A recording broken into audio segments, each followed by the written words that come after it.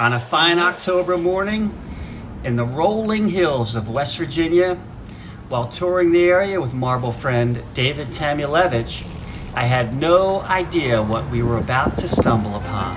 Oh, oh, we are so, we're so lucky. Here is the Peltier Peewee machine. Oh, wow. Oh my God. How about that? Just waiting to welcome us.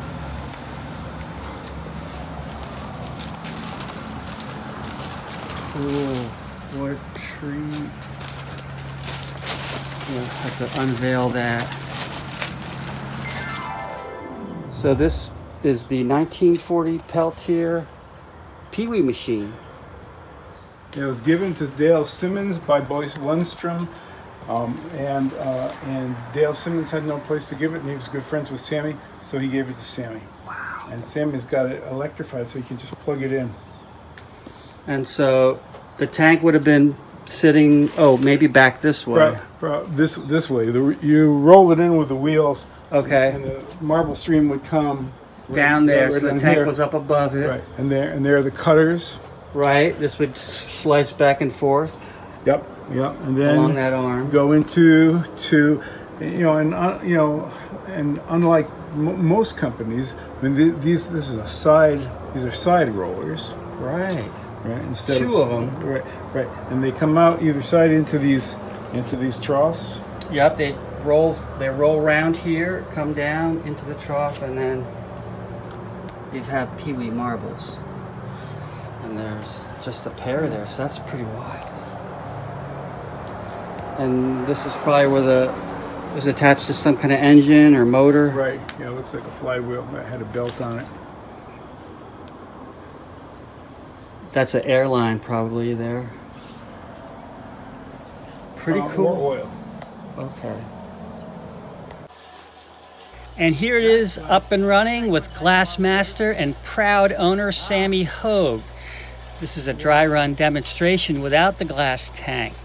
This mighty little machine looks like something from straight out of a steampunk convention. And on display in the front table are some of Sami's fantastic contemporary handmades. Now, if you look closely at the action of the cutting arm, there's two blades that will cut the gobs of glass. When the cutting arm pushes towards the right, it projects a gob of glass into the right cup. And when the cutting arm pulls towards the left, it throws a gob of glass into the left cup. And from there, they drop into the forming screws to roll the marbles round. These marbles are Peltier Peewees. They came from the Dennis Webb collection. You can see just how tiny some of them are. And they were in that box. This is the other box that was attached to them. Slightly larger, but still peewees. For a pee-wee size comparison, in this line from left to right, we have two itty-bitty tracer marbles. These are barely over a quarter of an inch in diameter. Here's a rainbow at 3 eighths of an inch, and here's a he-she at a half of an inch. These are all considered pee-wees. We have a 9 16 tiger and a 5 8 dragon. These would be considered tournament marbles. This Peltier Lemon Lime is at 21 30 seconds, and this is a typical shooter size. And then we have a Nova, which is uh, a little over 7 eighths. These are often called boulders or toe breakers or bowling balls or, or what, yeah, they're double D's, you name it. There's tons of nicknames for the big boys. And there's an awful lot of folks who are particularly fanatical about Peltier Peewees, and they can be highly sought after by collectors. In this gallery, we look at some of the more desirable Peewees from the Kathy Huggins collection. Peltier Glass was known to make Peewee versions of Champion Junior style rainbows, Peerless patches, and Acme Realers. And check out this green-based example with a nice flash of metallic on the patch. These may have all been made on that one machine, which is the only Peltier Peewee machine that is known to exist. And we looked far and wide for a banana cat's eye Peewee, but we came up empty. If you have one, please step forward in the comments below. I'd like to know if there's any out there.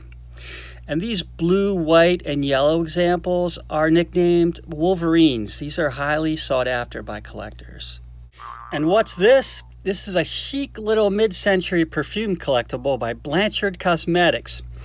These little perfume nips held Peltier Pee Wee marbles at the end of the tube. Well, thank you for joining me on this Pee Wee installment of Vintage Machine Made Marbles. If you like this video, please give it a